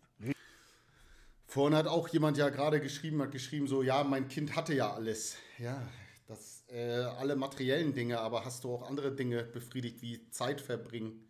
Ne? Also auch das machen wir. Ich bin, ich bin nach Ostern in Bayern eingeladen, da hat Jordan auch noch äh, Ferien, da begleiten, da begleiten die mich äh, auf meinem Trip. Wir sind jetzt auf, zum Geburtstag eingeladen, wir fahren noch in Urlaub zusammen. Ähm, wir gucken abends mal zusammen Film, wir gehen mit dem Hund spazieren zusammen, wir machen dann Sport, das sind alles so eine Dinge. Ich will das jetzt gar nicht so gut darstellen. Aber ich weiß, dass einige Eltern manchmal das Gefühl haben, mein Kind hatte ja alles.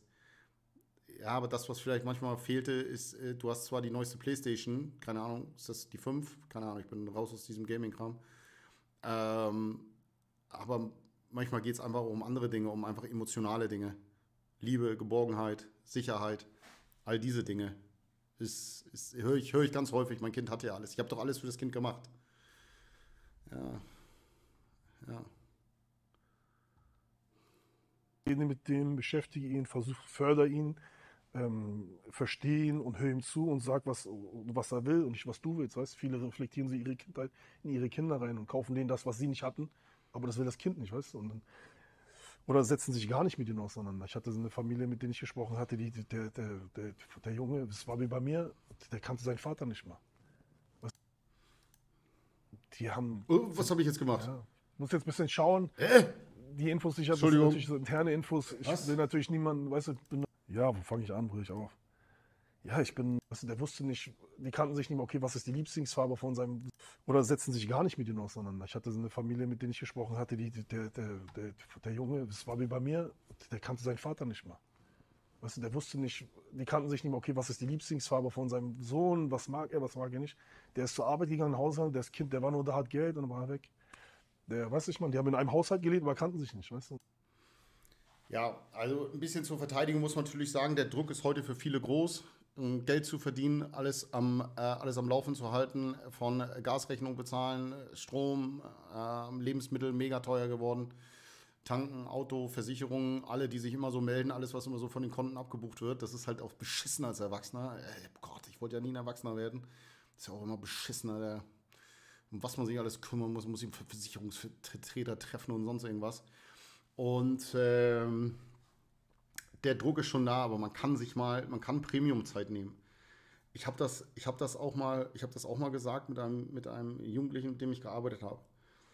Und ähm, ich habe dann ganz häufig Eltern, die sich bei mir melden und sagen, Mensch, äh, unser Junge funktioniert nicht, der ist gewalttätig, Schule macht die und die Dinge.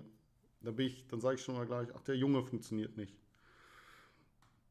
Bin ich zu Gast bei den Familien und natürlich sieht man das auch, dass die Eltern dann nicht funktionieren. Muss man einfach mal, äh, muss man dann auch einfach mal sagen. Also der Ton ähm, dem Kind gegenüber, die Eltern miteinander, ähm, wie, sie, wie sie miteinander sind. Und dann habe ich immer, dann habe ich mal dann, ähm, dann ging es darum, dass ich dann gefragt habe, okay, wann verbringt ihr Premiumzeit? Ich nenne das immer Premiumzeit für das Kind. Was ist Premiumzeit?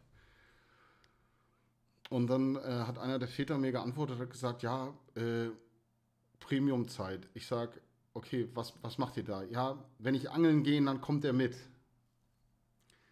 Ich sage, ja, aber ist Angeln dein Hobby oder ist Angeln sein Hobby? Also hast du ihn schon mal gefragt, will er angeln oder würde er jetzt sagen, er will, er möchte angeln gehen oder hast du ihn auch schon mal gefragt, möchtest du was mit mir machen? Willst du lieber eine Runde mal Tennis spielen oder willst du mit mir ein paar Basketballkörbe werfen oder willst du mit mir ins Kino gehen?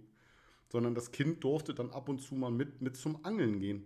Wo ich gesagt habe, ja, aber es ist aber keine Premiumzeit. Ich sage, setzt ihr euch dann hin und schweigt euch an ähm, ja, dann angeln wir und sitzen dann da. Ich sage, ja, aber es müsste doch auch sein, und ich meine nicht Premium-Zeit fünfmal die Woche und dann drei Stunden, sondern ein Kind braucht auch seinen Freiraum, sondern dass ich dann auch gesagt habe, ich sage, vereinbart doch einfach mal, wo es mal fünf Stunden und das nur alle zwei Wochen einfach mal darum ging. Äh, was möchtest du? Worauf hast du jetzt Bock? Machen, wir machen mal deins. Das sind schon ganz einfache Dinge, wo man manchmal einen Zugang auch zu einem, ähm, zu, ein, äh, zu einem Jungen dann auch wieder Zugang kriegt. Ne? Einfach auch mal gehört werden und hier geht es auch jetzt heute mal um mich. Ne? Und dann auch nicht noch die drei Kumpels mit, sondern einfach mal Premiumzeit zwischen, ähm, zwischen Vater und Sohn. Ja.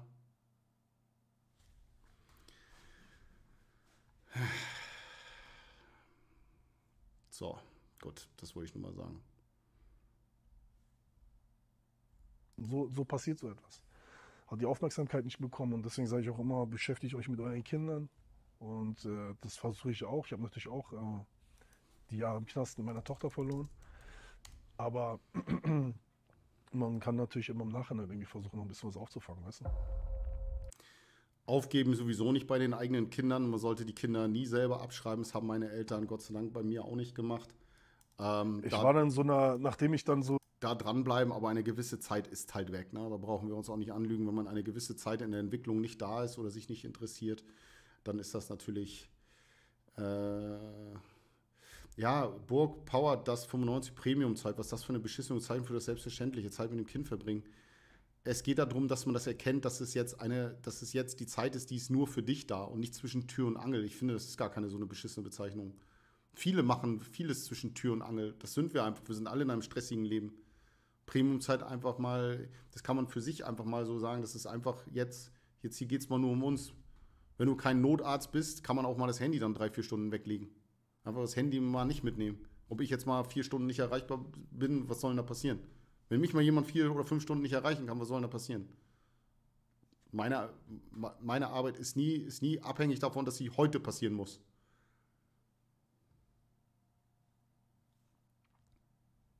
Ja, auch Quality Time genannt, ist doch scheißegal wie, genau. Ähm, weiß nicht, finde den Kasser nicht so doll reflektiert. Viel von und sehr wenig von Selbstverantwortung für seine eigenen Entscheidungen. Jenny, das, das sehe ich jetzt nicht so. Er, das, was er jetzt ja auch macht, versucht das zu erklären, warum er wie, welchen Lebensweg eingeschlagen. Und da sollen Leute ja was draus lernen. Ich glaube nicht, dass er das jetzt hier als Ausrede macht. Also das Gefühl habe ich jetzt hier nicht. Hemmelinger, Dankeschön. Dankeschön, das ist ein Fischbrötchen. Für mich geht es ja zum Geburtstag feiern nach Sylt. Wir feiern Freitag auf Sylt einen Geburtstag bin ich eingeladen. Äh, also ich finde, ich finde, das soll einfach, vielleicht geht es um Verstehen, Jenny. Es geht um Verstehen, warum wurde Kassera, wie er wurde. Aber äh, ich habe das Gefühl nicht. Ich war dann so einer, nachdem ich dann so von der Gymnasium runter bis zur äh, Baumschule, wie ich jetzt einfach mal sagen, bis zur so schwer erziehbaren Schule gekommen, in der Hauptschule. Und dann, selbst in der Hauptschule war ich nicht mehr handelbar. Da gab es so eine Insel, so eine Containerinsel haben sie es genannt. Da wurden so die aussortiert, so, die gar nicht klarkommen. Ja, ja, und dann war das so ein, so ein Container, so ein Baucontainer um, umgewandelt in so eine Schulklasse mit fünf, sechs Plätzen, Alter. Das war eine Katastrophe, Mann. Voll Katastrophe. Ja, dann bin ich dann dahin, ne, war völlig, du merkst als Kind so, du steigst voll ab, weißt du, hast du noch mit, das Umfeld verändert sich ja auch, weißt du, das sind ja Leute, weißt du, du merkst natürlich auch als Kind so, das verändert sich alles. Und ja, ja, das sollte eben selbstverständlich sein. Es wurde Premium impliziert, dass diese Zeit was Außergewöhnliches wäre. Ich habe das den Eltern erklärt, dass es Premium-Zeit ist. Sie müssen es ja nicht Premium-Zeit nennen. Es geht darum, denen das zu erklären.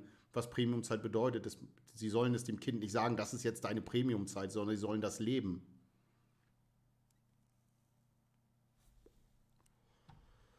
Das ist nicht gerade das Positive und du wirst als Kind ja auch negativ dann. Weißt? Und die Impacts von außen werden auch nicht besser, das Milieu verändert sich, die Leute verändern sich, der, der, Intellekt, der Intellekt verändert sich, auch wenn du klug im Kopf bist, passt du dich immer dein Umfeld an. So ist der Mensch. Und so war das bei mir auch. Und dann gab es eine Situation, ich war extrem Idiot, habe mich asozial verhalten. Und dann ist der irgendwann, weißt du, beim, beim Lehrer platzt dann irgendwann auch mal irgendwann so die Sicherung durch. Oder und dann weiß ich noch, dann habe ich ihn genervt im Unterricht und er hat irgendwas gesagt. Irgendwas war da, Mann. Irgendwas hat er gesagt. Irgendwas. Und dann habe ich so ein Geodreieck in der Hand gehabt, das war mein Mathelehrer, und habe das dann so aus dem Handgelenk geschnippt. Eigentlich wollte ich es nur schmeißen. Und dann habe ich dem am Kopf getroffen und das ist stecken geblieben. Und dann hing bei dem so auf einmal das Geodreieck so halb im Kopf drinne und ist dann aber runtergefahren, das hat geblutet und so. Und dann oh, völlig Drama. Und dann haben sie mich dann auch da rausgeschmissen, dann war ich schulisch äh, Karriere war dann völlig beendet so. Ja, ist ja auch, also Lehrkraft sein auch.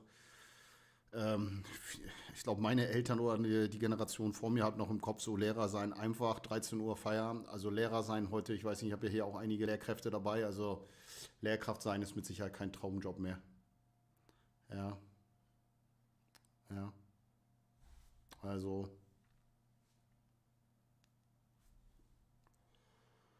Ich hatte gar keine mehr, aber die war dann so der letzte Rest war dann so völlig ausradiert. Und äh, ja, das war die Situation. Er hat mich beleidigt und dann habe ich das Ding geschmissen und ja, das ist stecken geblieben. Ja. Hm.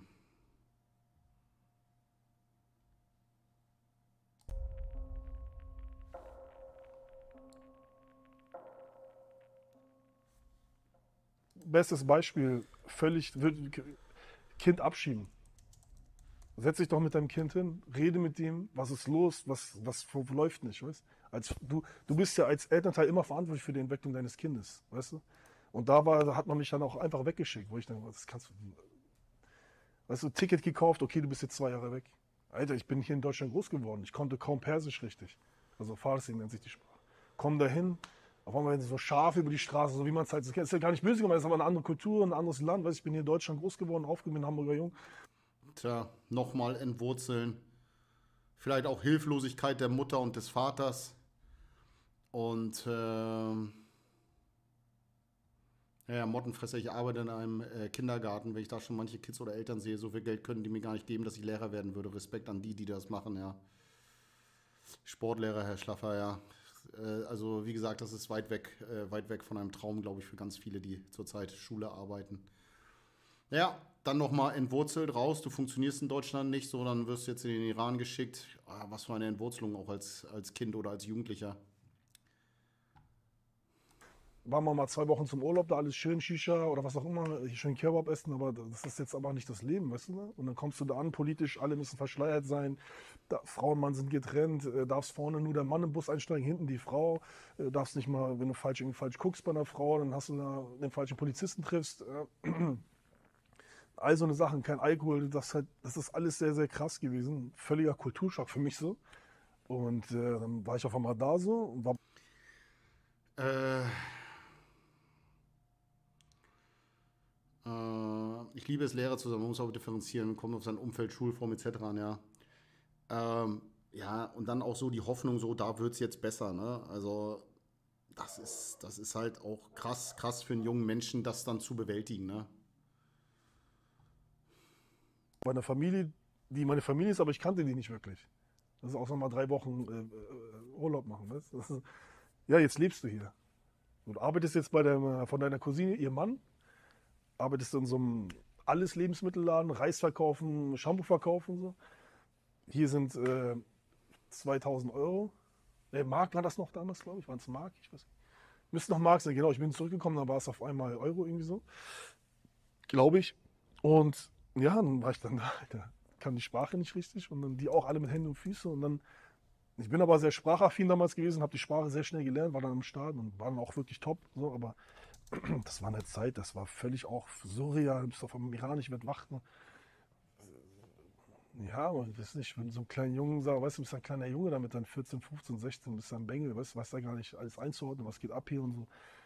Ja, und dann, dann habe ich da natürlich auch mal so meine Sachen gemacht, weißt du. Und äh, also nichts Schlimmes, sondern war dann trotzdem auch so der Außenseiter, dann nicht nur in der Familie, sondern der dann auch, weißt du, ich habe mir dann auf dem Schwarz noch ein bisschen Wodka geholt und meine Cousine mich erwischt und eigentlich was hier völlig normal ist als Jugendlicher, wenn man was trinkt und seine Erfahrungen macht, weißt, das war ist natürlich da so, ey, strafbar, weißt du, du kannst dafür einen Knast bekommen, auch äh, vom Peitschieben und sowas gibt's da auch als Strafe und das war für mich völlig, völlig krank. Ich habe mich aber damit der Situation irgendwie versucht klarzukommen, habe die Sprache gelernt, habe da gearbeitet und irgendwann konnte ich da aber nicht mehr. Irgendwann habe ich angefangen, ey, ich muss hier, es muss hier weg, ich drehe hier durch. Ich habe hier kein, kein Mädchen, was, du bist ja junger Kerl, keine Mädchen kenne ich hier, ne, muss Angst haben, wenn du so irgendwie morgen erschossen bist, wenn du das falsche Mädchen ansprichst, so nach dem Motto, weißt du, bist übertrieben, aber darfst ja nicht und ich drehe hier durch. Ich habe bei meiner Oma gelebt, Gott hab sie selig, die ist mittlerweile verstorben und das ist ja, das ist so voll schlimm gewesen nach einer Zeit und habe ich dann so einen Druck gemacht, auch bei der Familie, habe mich dann auch so daneben benommen irgendwann, dass sie gesagt haben, okay, jetzt ist es besser, glaube ich, wenn er mal geht und wieder nach Hause geht und dann bin ich dann irgendwann zurück und habe gesagt, ich gehe da nie wieder hin, auf jeden Fall nicht leben und so was. Na, mit Unterbrechung, ich glaube insgesamt anderthalb Jahre. Ja, welche Hoffnung ist dann da auch? Wie soll der Junge sich dann fangen? Ne? Also wie soll Kasserer sich da fangen? Die eine Familie fühlt sich dann auch nicht richtig zuständig, ist irgendwie abgeschoben, wir müssen uns jetzt irgendwie um ihn kümmern, der soll jetzt mal hier ein bisschen arbeiten, jobben und so weiter. Du bist weder Fisch noch Fleisch, ne? Bist ja trotzdem dann irgendwie ein Hamburger Jung. Und dann sollst du dich im Iran zurechtfinden. Also ich glaube, es wäre für Erwachsene schon schwer genug, dann irgendwie zwischen den Kulturen hin und her zu hoppen. Ne? Äh oh, Alexander, Dankeschön. Ja, Markus, ich weiß nicht, er relativiert das. Ja, ich habe jetzt nicht so, negat so mega negative Vibes, habe ich jetzt nicht. Ja, Hamburg ist ja bekannt für sein Rotlichtviertel. Und wenn du in gewissen Gegenden oder mit gewissen Leuten zu tun hast und auf der Straße viel unterwegs bist und mit Jungs vom Kiez und so, dann hast du schnell Berührungspunkte in diese Szene. Und so war es bei mir auch. Ja. Ich hatte immer welche, kannte irgendwelche Leute oder Bekannte von mir, deren Cousin, deren Bruder irgendwie Wirtschafter war, selber Zuhälter oder als Sicherheitsmann irgendwo in der Tür gearbeitet hat, von dem der Club irgendwie von einer Bande oder so ähm, zugehörig war. Und so hast du automatisch diese, diese Schneidepunkte gehabt. Ja, man lernt immer in gewissen Vierteln, Stadtteilen lernst du immer irgendjemanden kennen, der irgendwas macht und sei es, sei es, dass er irgendwie Drogen dealt, dann in den und den Club geht, äh, dann trainierst du ein bisschen, kommen die ersten Leute, sagst, ah, willst du hier nicht mal Türsteher machen, komm noch mal hier vorbei. Das ist Milieu, lernt halt Milieu kennen. Das ist einfach, äh, das geht halt super schnell. Das ist, äh, ja, Markus, ja, also die Geschichte mit, dem Geodreck fand er eigentlich noch lustig und cool und das hat er vor der Kamera unterdrückt. Ja, das Gefühl hatte ich eben da auch. Ähm, das hatte ich da auch, das äh, werden wir dann aber nochmal nachsehen. Ähm, aber wie gesagt, jemand, der sich erstmal rumtreibt, irgendwie in einer, in einer Großstadt und dann irgendwie über Türsteherei, Kampfsport oder sonst irgendwas, lernst du immer Leute kennen, die dir irgendwann irgendwas anbieten und sagen, Mensch, willst du da nicht mal mitkommen? Und weil, pass auf, wir haben hier eine Gruppe, willst du da nicht mitmachen? Wir wollen jetzt hier eine Gang gründen und ein bisschen was verticken oder das und das machen. Das geht super schnell. Das ist einfach so. Das ist, das ist einfach keine Weltraumphysik. Diese Schnittstellen und ne, das halt, du siehst das Geld, es geht um Kohle, du siehst Autos, alle machen ihr Geld und hin und her und ähm, Klar will ich auch was haben von dem Kuchen. Wenig tun, viel haben. Ja. Ja, genau. Also Elizio schreibt auch gerade, äh, nee, äh, wer war das jetzt? Äh, Ivan Hawk. Philipp, wenn ich bemerken darf, manche Menschen schien, äh, ziehen die Scheiße an wie Magneten. Dazu zähle ich mich leider auch. Ja, das ist so. Ist aber auch der Weg, den man gegangen ist. Man, auch das sage ich heute, auch das sage ich zu einigen Jungs, mit denen ich arbeite und ich sage, du weißt doch, wenn du mit denen und denen losgeht, gibt es Ärger und du hast wieder Stress zu Hause, Stress Schule, Stress Polizei, ja. Man weiß es, das wissen auch junge Leute schon. Es ist das, auf das, was wir uns irgendwann eingelassen haben. Ja. Ich hatte es damals, oder so ein Jungen wie mich damals, hat es natürlich angezogen. Und ich wollte was machen. Ich wollte nie normal arbeiten gehen. Da hatte ich keinen Bock drauf, da habe ich mich nicht gesehen. Und ich habe mich schnell war so ein bisschen auch gewalttätig unterwegs. Also ich, hab, ich konnte mich durchsetzen. Ich war jetzt keiner, dem du so einen Nackenklatscher geben konntest. Ja. Und ähm, ja, das hat mich in der Situation durchgesetzt. Das spricht ja. sich dann auch rum in der Szene oder ja, genau. Also da hört man das, ja, wir haben den und den, der hat da sich mit dem und den angelegt, hat sich da gerade gemacht, hat den umgeboxt, war ihm scheißegal, ist dann mit dem Messer gekommen oder hat den Knarre eingesteckt. Das, solche Dinge sprechen sich rum. Das, du hörst das super schnell, sobald du ein bisschen Milieukontakt, weißt du, wer wie wo welche Strippen zieht. Und dann kommt irgendwann kommt irgendeiner auf dich zu und sagt, Digga, so einen wie dich brauchen wir. Ja, da spielt auch wieder die Faszination des Bösen rein. Ist so, Magenkiller, ist so. Im Kiez so und dann bin ich mal mit einem Cousin, bei einem Bekannten von mir mit, äh, zu seinem Cousin oder Bruder hin. Der hat als Wirtschafter gearbeitet. Und dann war ich da ein paar Mal dabei und dann saßen vor dem Bildschirm. Und dann kommen ein paar, ein paar, Mädchen rein, die da arbeiten. Die quatschen dann und so, so, so bist du dann drin. Dann gehst du öfter hin und triffst dich. Ja, Markus, ja, ich wollte nie normal arbeiten gehen, kann diesen Satz nicht mehr hören. Ja. Ja. Mit denen, mit denen, das ist wie so ein, man bandelt halt so an. Und dann, so bin ich Klar, es hat ja auch eine ungemeine Strahlkraft. Du bist auf einmal wichtig, ne? Du bist da, hängst da rum, die Frauen kommen rein, du siehst, du siehst das Geld, was über den Tisch geht, die Leute, Leute düsen dir ja auch einen vor. Ja, die Leute düsen dir einen vor. Ne? Ähm, ich kannte Leute, ich kannte Leute, ich, ich kannte wirklich jemanden, der sich ein, der sich ein Ferrari monatlich geleast hat und wohnte, wohnte wie in einem Mülleimer. Der wohnte, seine Wohnung war wie ein Mülleimer. Der hat sich von Monat zu Monat durchgehangelt, um diese, um diese Ferrari-Rate zu bezahlen. Wenn es dann darum ging, dass der, dass der Wagen mal neue Reifen brauchte, da war aber schon das Gesicht lang. Und ähm, natürlich erzählen die von außen. Die haben dann ein, die haben dann ein Bündel Geld. Ja, in der Mitte hast du dann eine Rolle Fünfer und außen drum haben sie sich drei 500er gemacht, die sie sich irgendwie ausgedruckt haben. Oder lass sie echt gewesen sein, scheißegal. Ja, wo ich mir gedacht habe, natürlich hat das so eine Strahlkraft, diese Autos und dieses nach außen. Was habe ich gesehen, was sich Leute für Marken, Klamotten verschuldet haben? Ja, ich kaufe Marisa oder mir auch gerne mal eine schöne Klamotte. Ich mag, ich mag auch mal mir ein paar Tonschuhe kaufen oder sonst irgendwas, aber das Geld muss halt übrig sein. Ja, aber was habe ich gesehen, was Leute sich verschuldet haben für diese Äußerlichkeiten? Ja, wenn sich jemand leisten kann, ich, wir leben im Kapitalismus, es ist völlig okay, wenn jemand Geld verdient und das Geld auch in den Wirtschaftskreis wieder reinsteckt. Aber dieses nach außen wird halt vorgegeben. Ne? Ja, ja, jo, Mercedes SLK, aber keine Socken zum Wechseln, ist so, ganz kaputte Nummer, ist so. Ja, ja, Geldklammer natürlich, Geldbeutel ist uncool, ist so. Ähm, aber das wird halt so vorgelebt, ne? Und, ähm, und dann dieses täglich Essen gehen, irgendwo rumhängen, äh, irgendwann erst um neun oder um zehn aufstehen, dann zum Sport gehen, dann nachmittags irgendwie auf dem Kiez abhängen, begrüßt sich da mit irgendwelchen Leuten und es hat eine ungemeine Ausstrahlung, aber was da oft dahinter ist bei den Leuten, Mann, was saß ich mit Leuten schon zusammen, die echt große Nummern waren. Ähm, saß ich mit denen zusammen und was die dann erzählt haben, Alter, die hatten auch keinen Bock mehr, die wollten auch alle solide werden. Was habe ich mit Leuten drüber gesprochen? Alle wollten solide werden. Ne? Das sagt man einmal das Milieu und viele im Milieu arbeiten aber darauf hin, irgendwann solide zu werden. Solide heißt dann, irgendein Business zu haben, was, was steuerlich und ordentlich geführt wird. Geld irgendwie kriminell zu verdienen, um dann solide zu werden. Weil natürlich in dem Leben so viel Schein ist, so viel Betrug, Lug, Neid, all diese Dinge. Und ähm, viele wollten da raus. Viele wollten da raus. Aber nach außen haben sie es gezeigt, als wenn es das geilste, größte Leben ist, das es je, je geben könnte.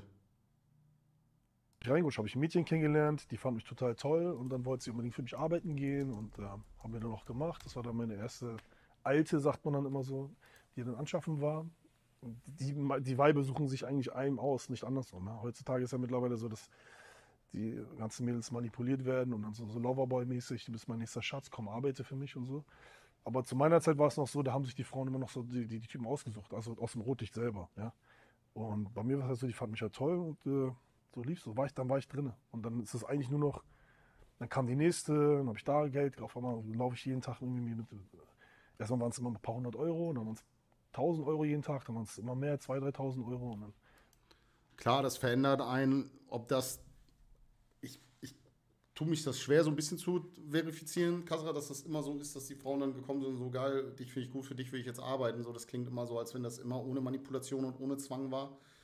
Manipuliert worden sind die meisten Frauen schon. Dem wurde auch schon ein Leben vorgegaukelt. Schnelles Geld, alles halb so schlimm Ähm, da gibt es ja auch so ganz bekannte äh, Prostituierte, die so bei Instagram abhängen oder bei RTL 3 irgendwie ihre Stories erzählen und so weiter. Alles halb so schlimm, ich bin so lustig, ich bin so gut drauf und so weiter. Da kann ich euch sagen, wenn da die Kamera ausgeht, das sind, das sind oft ganz traurige, gebrochene Seelen. Also, ähm, also, ja, David Hollitz schreibt auch gerade, früher war alles noch besser. Ja, da tue ich mich ein bisschen schwer mit. Tue ich mich gerade ein bisschen schwer mit. Ähm, ja, heute ist Loverboy Masche. Loverboy Masche ist auch gute 20, 30 Jahre oder noch älter. Ja, die wurden auch schon reingetrickst. Kann man sich auch die Dokus vom, vom Kiez schon aus den 60er, 70er, 80er Jahren angucken. Die wurden da teilweise genauso rein manipuliert, ähm, mit, mit Gewalt drin gehalten und so weiter.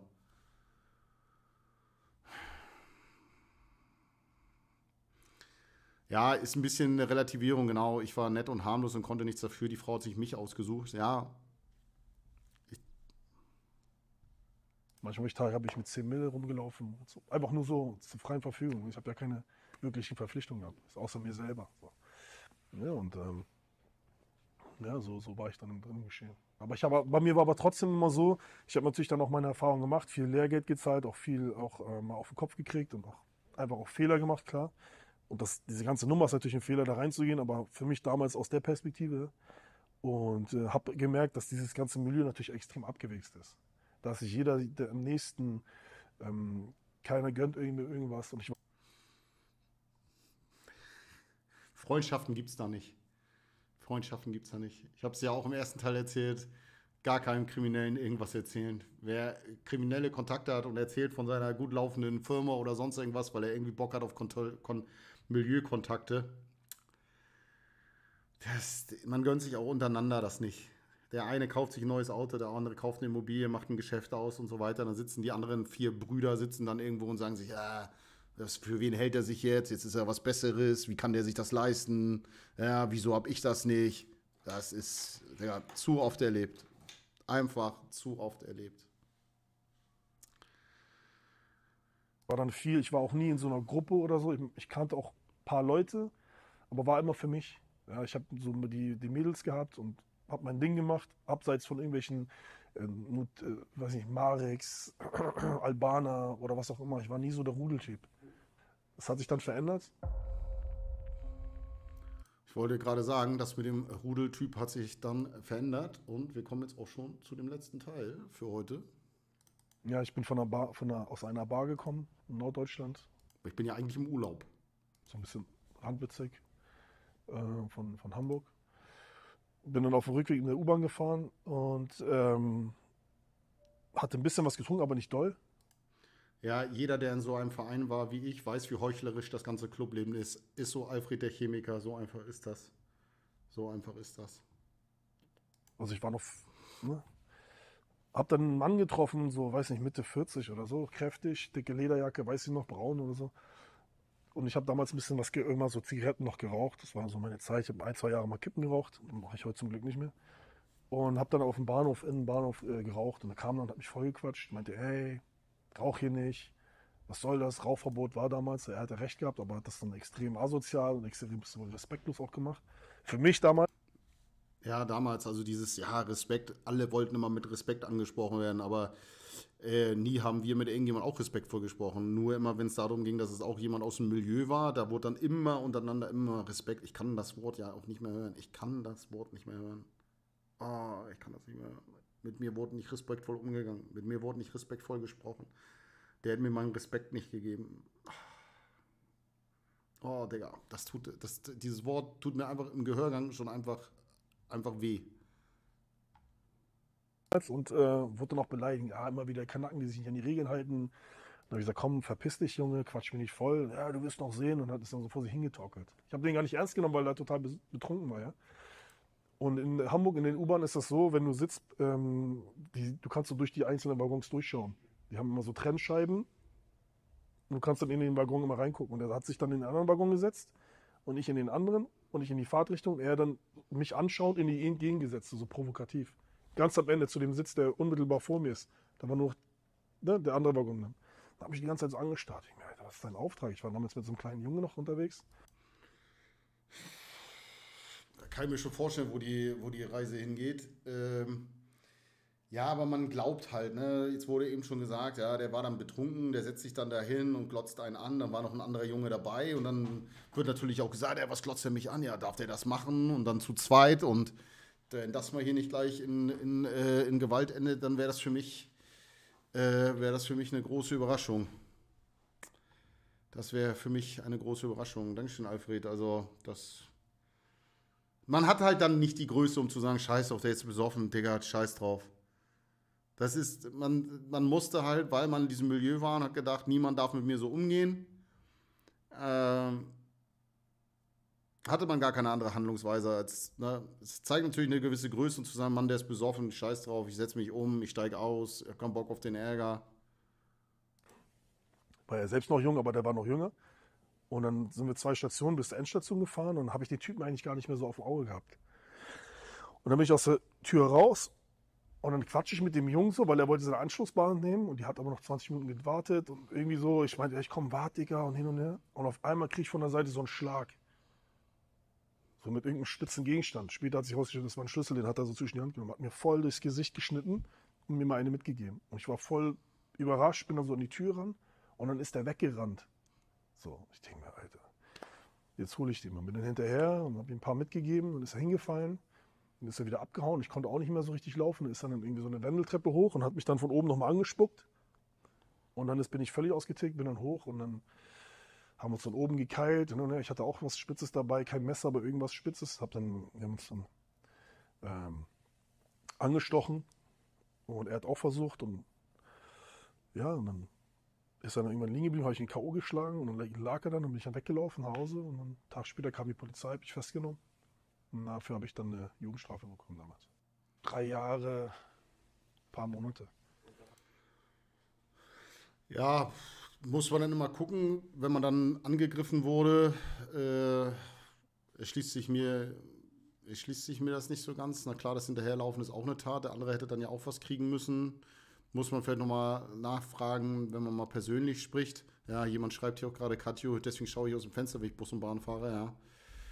Ja, Leute, die sich von Gucken getriggert fühlen, habe ich nie verstanden.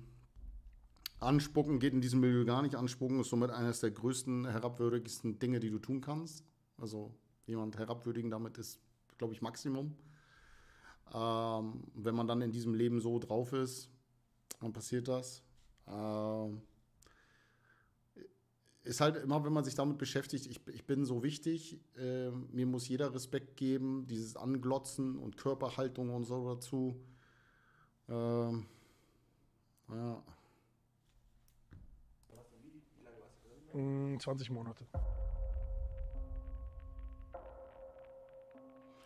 Ja, ist dann auf jeden Fall ja schon mal eine gute Stellung dann äh, für die Leute, wenn man dann vorher, wenn man dann vorher eine Haftzeit hatte, auch in jungen Jahren, hat sich da gerade gemacht, hat sich seinen Respekt auf der Straße verdient, hat einen Namen auf der Straße. Ach ja, also, ja, Alfred schreibt, ich bin froh, aus dem ganzen, aus dem ganzen Mist raus zu sein. Ich auch, wenn ich das höre, kommen Dinge einfach in mir hoch, dass ich sage, es gibt heute, ja, Digga, dieses mit Anglotzen und so weiter. Oh Mann, oh Mann.